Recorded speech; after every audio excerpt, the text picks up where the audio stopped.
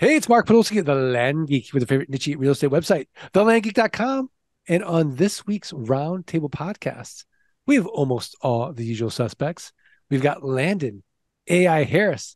Landon, how are you? Doing well, Mark. Good to see you. We've got your partner in crime, Teria, putting in the reps Harris. Teria, how are you? I am great. Thank you. Good to see you. We've got Erik, the technician Peterson. Erik, how are things in Nashville? All is well. Happy day after Labor Day to you. Happy happy day after Labor Day, which to us really means nothing. I actually uh, put on threads. I'm like, if you're excited about Labor Day, it might be time to reevaluate what you're doing with your life. You know, was that is that too harsh?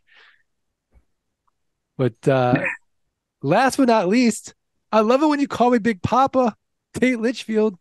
Tate, how are things in Sin City? Good, starting to cool off. Happy to be on here. Thanks. You know, it's funny because this morning was like 70s here. Did you yeah. did you cycle? I did. I uh, enjoyed that cool weather. It was a beautiful day. Beautiful, beautiful. Well, we've got a really interesting topic. We were monitoring the the WhatsApp chat for our coaching clients, and they're all asking each other, "Hey, what do you pay your VA for this? What do you pay your VA for that?" So I thought, why like why don't we talk about virtual assistants and what we pay, uh, depending on the role. So, Landon, is this a is this, is that first of all is this a personal question? Like, do do people feel like, well, I don't, you know, maybe we shouldn't say what we pay. I don't think so, but just curious. No, I don't mind sharing that. I think one of the things that we always run into is obviously the talent, what you're what you're finding. So I like to kind of have this broad range, unfortunately. Um, I do find that if you have foreign VAs, sometimes you're not paying them as much as you're paying the American VAs. So like uh, let's say I've got my intake manager and I'm taking her and I'm gonna pay her probably I'm going to start her at 15 and I might give her some room to increase, you know, uh, it's like 15 an hour and give her the room to increase uh, year by year or depending on how uh, she performs. Or maybe we've got something lower in like, uh, like our, our, our sales transition person. So maybe they're, we're paying them like six or seven bucks um, and they are you know, foreign base. Maybe they're in the Philippines or something like that. And we're paying them uh, six or seven bucks. So um, I find it just ranges. It's such a broad range. I hate to just say that there's just no answer to it, but there is such a broad range. Um, I think it depends on level and talent. Who who's the most expensive VA that you have per hour, and the least expensive VA per hour? What role are they in? Mm, that's a good question. So I would say our most expensive per hour is probably our sales uh, assistant. Um, we want to make sure that they're being paid and compensated accordingly um, for the amount of time that they're putting in, and we want them to kind of push a little bit. Um, the least expensive and I should know this. I could pull up my metrics, but if if I'm thinking about our least I expensive, yeah, I was going to say, Teria, what, what, do you think? I'm drawing a blank. our least expensive would be um, the person that kind of stages our properties from intake to the marketing side. She's our least expensive. She's probably like five dollars an hour. Okay, and, and she's just working within in the software and sort of like copying and pasting? Yes. Mm-hmm. That's yeah. it. Like data entry, really. Data entry. Okay. Mm-hmm. That's fair. That's fair. Um Teria, I mean, we might as well go to you and just and just sort of ask, you know, as as far as you know, when you think about VA compensation, how do how do you think about it? Do you think about it differently than Landon?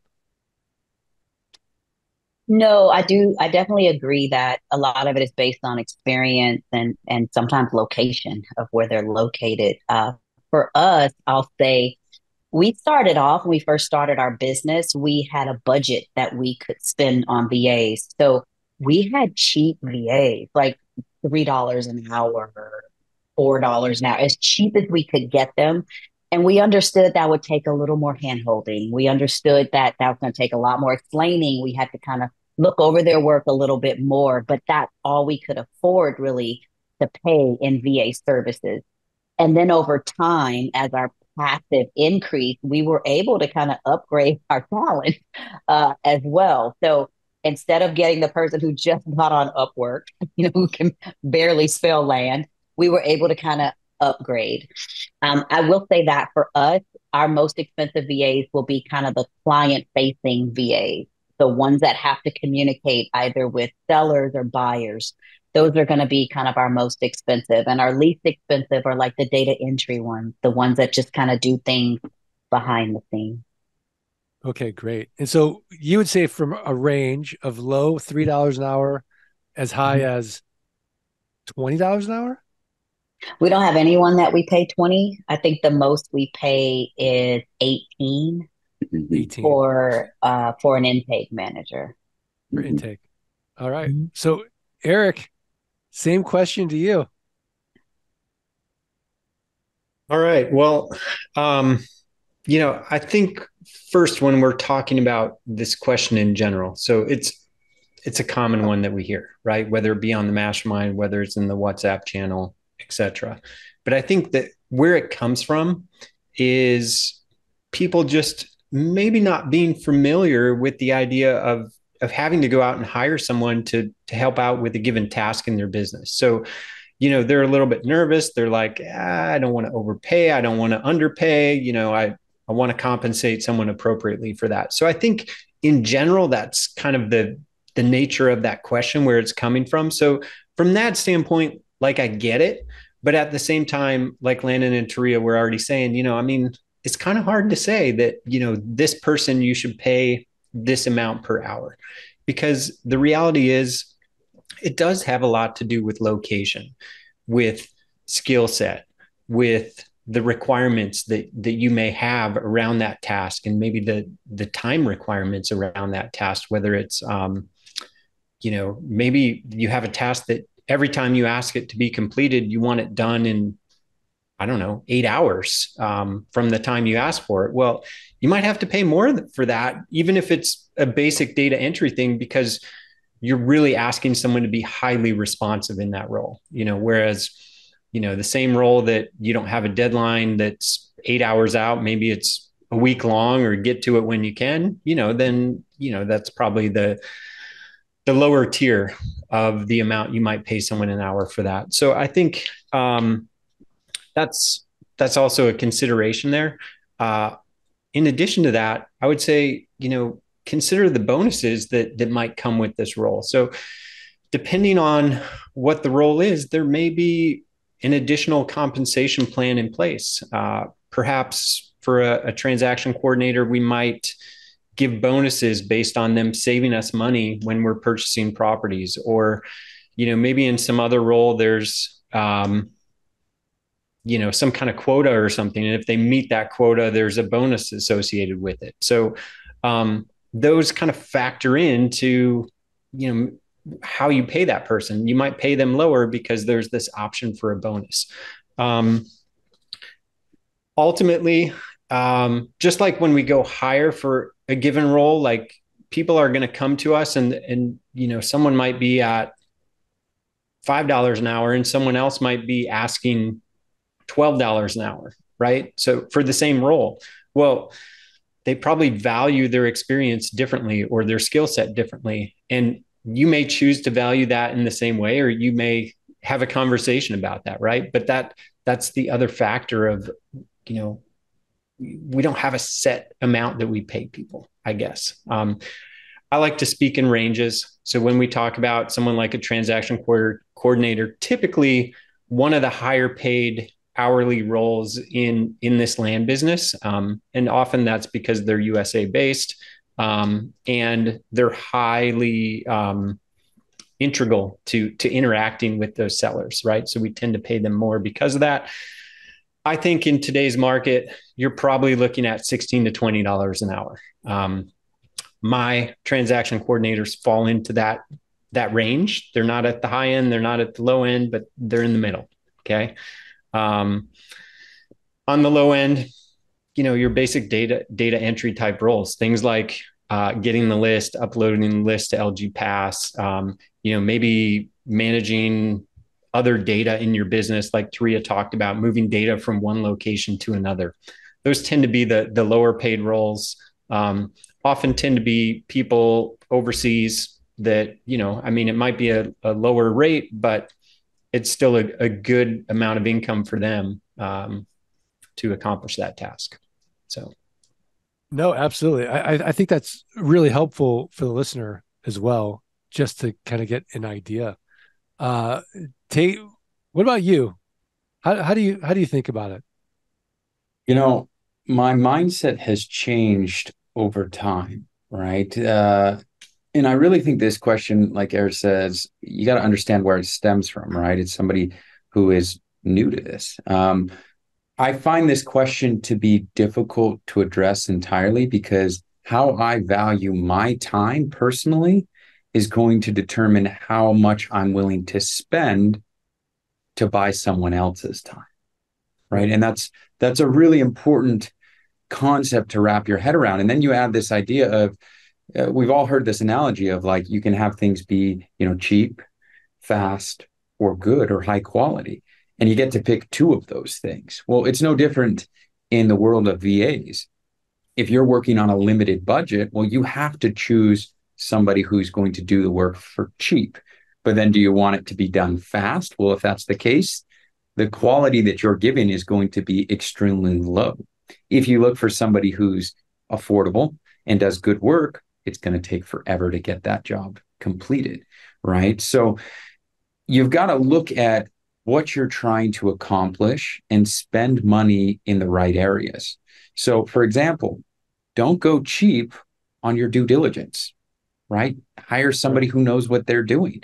Now, that might not mean they're 20, 30, 50 dollars an hour, but it's okay if it takes a couple days to get a turnaround on that because you want good quality due diligence. Now, when it comes to maybe moving data or even building a list, man, you can go cheap there and it can be, you know, so so quality, right? So it, it's just how you value things. Um, typically, you know, if you look at a established land business and you look at the cost to run these things, I'm going to go out on a limb and say there's, you know, not many businesses that could beat us as far as overhead our overhead's relatively low. In fact, it's extremely low.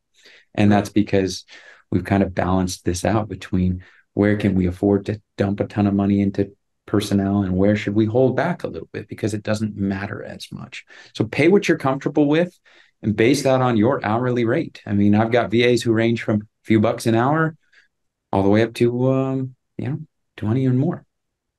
Yeah, absolutely. I mean, what do you guys think about turnover? So, for example, if we look at the fast food industry, they have 300% turnover. So they're constantly losing people, having to hire people three times in a year for, for one role. And that that is a drain on resources. And so in in some cases, it's better long term when you get an A player to bonus them to pay them more so that they stay so, but when you're first starting, it's sort of hard to to gauge that. And what should the expectation be as far as let's let's just pick on the intake manager for example. That's a pivotal role. How how long do you think on average that person would stay in that role? You know, actually I'll I'll jump in. Um, so with an intake manager, because you're not they don't have tons and tons of work. I, I would say that they are pretty. They can be pretty steady and consistent. I mean, we've had we maintain intake managers for years. If, if they're doing their job, they know how to. We've only yeah since we've started, um, and it, they've been very steady and very consistent. Um, so something like that, or even if a sales manager, you you can you want to try to keep those on as best you can if they're being consistent. And once again, that's what two for us on that one. Um, but we've also changed our how much we're paying the, these these roles. I think we started a lot lower in the beginning, and now because we want to retain them, because we want to uh, be able to have them have some longevity. We've changed our our uh, our our structure as far as our, our pay structure that goes with them. So. I mean, I think that's a yeah an important point to you know kind of bring up. Yeah, yeah. Teria, which which role would you say has the least turnover, and which one would you say has the most turnover? The least has been for us sales and intake. Um, okay. The most has been like um, ad writers, um, deal of the week people. Uh, those one off sometimes, those have been the most turnover for us. Yeah. Okay. Good to know. Erik, how about you?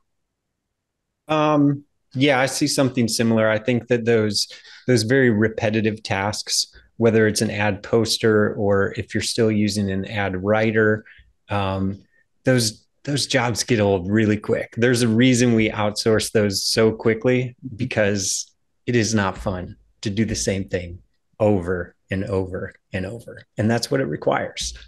Right. Mm-hmm. Right. But you, don't you think ChatGPT is going to just change all that? Well, I don't think it's going to post it, our ads for us. No. I don't know. Well, no, no, it's not going to post our ads. I got it. Look, we we use AI, but I don't think that websites where you can market like AI. And so, yeah, you can get content created, but there is a trackable formula in that content that you and I can't discern. But these websites, it's killing their ranking in Google search when everything is created by AI. So, sure, mm-hmm. it's like hitting the easy button. But again, where does it fall? Is it good? Is it quality or is it cheap? In that case, you know, the quality is not not there. And when I think about marketing, I want my best people on it because that's where I make the money, right? like right. my marketing's not dialed. It's not, I'm not selling land. I don't know. Yeah. How, how, about me. yeah. So same thing for you, Tate. Least least turnovers in sales and intake. Most is in ad writing. Yeah, I think most of it's in ad writing. Um, yeah, we don't see a ton of turnover. You do it first because struggling to get people to work and pay them well. And once people start earning money, I think they kind of buckle in a little bit and give you a little bit more dedication no, and time and resources. No, absolutely. And, it, and, it's so important. I mean, we've talked about this in, in the past, but whenever you're making that that training video, you're creating that process or system, you need to let that virtual assistant know what the importance of that role is in the overall scheme of things so that they're working for something bigger than themselves. It's not just hey i'm, I'm copying and pasting an ad. It's you know look because of your labor if you do a good job of this all these amazing things happen right? You're you're helping somebody that has uh, that was once an asset to them is now a liability. You're helping them get money and they can take that money and go do something more productive with it, right? Or I, I guess that's for that for the ad writer. But yeah, you're helping somebody who's who's never thought they could afford this asset. And by the way, it's the only asset that that lasts. Like everything else in everyone's life is going to go away. This is the only thing that's going to last. And because of your labor and your work, you're you're helping someone, uh, you know, have this legacy investment for themselves, for their family, for the generations. So it's it's really important that you put emotional labor into this and we're going to help you you know be successful in it. So you know there's that that old saying uh you know someone who's you know the the bricklayer uh you know on building uh, uh on on the on the church is like yeah i'm i'm i'm laying bricks right? And then the other bricklayer's like yeah i'm i'm uh i'm helping build this church or something like that. The other the third one's like, you know, I'm I'm I'm building the house of God, right, or something like that. I forget I forget the cliche, but it's it's like, hey, I'm doing this is like I'm not just you know laying bricks here. It's for you know a, a really great purpose. So well, I thought this was a a really good roundtable. I think a lot of people are going to get value from it, but mm-hmm. I know that everyone waits for the tip of the week and Landon, a website, a resource, a book, something else actionable for the art of passive income listeners to go improve their businesses, improve their lives. But before you give that tip, have to give a shout out to our sponsor, Flight School. Learn how the next 16 weeks can transform your life. Go up that mountain of land investing safely, quickly, efficiently. Don't have to deal with any renters, rehabs, renovations, or rodents. And I know what you're thinking passive income without any headaches? How is that possible? The tuition must be crazy. Yeah, it's not. It's not going to cost you anything. Guaranteed you're going to make back that money 180 days or less. Just show us your work.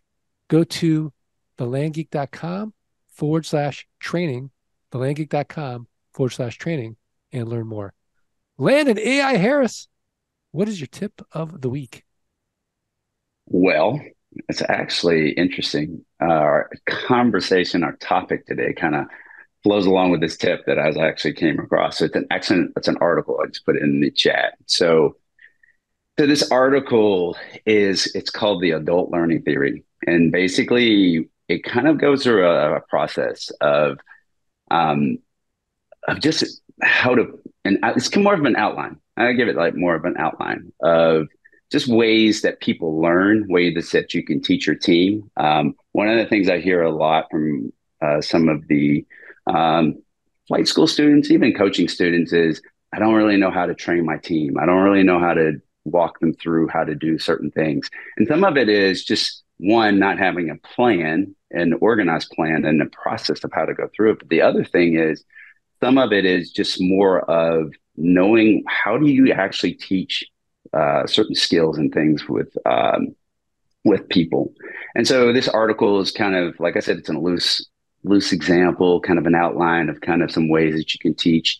Um, some guided approaches uh, towards way that you can that people learn. And so some of the main points that I actually I actually wrote them down because these are kind of really important points um, that were great reminders uh, to me. So one of the points that they brought up was um, so as a business owner, um, we should never, uh, re- we should always remember to constantly experiment and test uh, different approaches. And I think with what we do, because things evolve, you want to make sure that you are constantly testing um, to see if this is going to work and if this works in your business. And if it doesn't, what changes do you need to make? Um, another point that I was really interested in um, was don't put a set it and forget it mindset. Like that that resonated so heavy um, with me because sometimes you, you know we we we get to this training that we're we're trying to get our team to know, and we set it up, and we've got the video, and we just put it out there. Well, in a year or two, maybe things have evolved, maybe things have changed, maybe uh, you know systems have have are different. And so we need to make some updates and how do we actually go through this process? Um, because that's always a big thing. Um, so just having a different mind mentality um, with that, because one of the points that they bring up is like your mentality of of just set it and forget it. It quickly results in an outdated in outdated content. So um, I don't know. Found this article just be really interesting, and like I said, it just kind of flowed along with kind of what we're talking about a little bit today. I love it. It's like Kaizen for for learning, just continuous improvement. And uh I I mean, you know, I always say like I don't know anything anything about anything. Um, because the more I learn, the less I realize I know. And you know, and everything is just so interesting. It's like you, you know, you always want to kind of have beginner's mind. Um, and, and constantly be learning and, and never get to that point where like you think, oh, I know, you know, I know this so well. Like you might know it really well compared to someone else. Like, you know, you guys are all land experts for sure, but doesn't mean you don't want to continue learning and, and, and growing. Uh, just like till the day we die. It's, you know, I, I hope I, I die with a book in my hand if I'm lucky, you know, try, try to learn something. So uh, great tip, great tip. Um, well, I want to just thank the listeners and remind you the only way we're going to be able to keep hazing Landon to do tips of the week is if you do three little favors. Follow, rate, review the podcast, send a screenshot of that review, support at thelandgeek.com. I'm going to send you a signed copy of Dirt Rich. And even if you don't want Dirt Rich, just do it selfishly for yourself because then Landon will keep coming back. So You get valuable tips. It's in your best motivation. interest. Little motivation. All right. Are we ready to do this? Yes. One, two, three. Let's Let Let Freedom. freedom, Freedom ring. ring. speaking of letting freedom ring, uh boot camp registration is open now. Oh boy. You know, People have been say? asking about it. I know Mhm. San Antonio. It's you know it's the the the size is limited this this time. We didn't get we we kind of underestimated the room. 2024 we're gonna get a big room, but to end 2023 it's gonna be intimate. So hopefully you're you're gonna register soon, sooner than later, to make sure you get into the room. What's that? Well, don't forget to to remind them that last year was last live boot camp. There was a wait list of over 50, right? That wait list was large. Yeah, That was yeah. So don't So- drag your feet. don't drag your feet. Look, you know what they say live events change lives. Hopefully, we'll see you. All right. Thanks, everybody. Thanks for listening to the Art of Passive Income podcast. Are you ready to learn how you can start building a passive income without renters, rehabs, renovations, or rodents? Schedule a free consultation at thelandgeek.com forward slash training. Let freedom ring.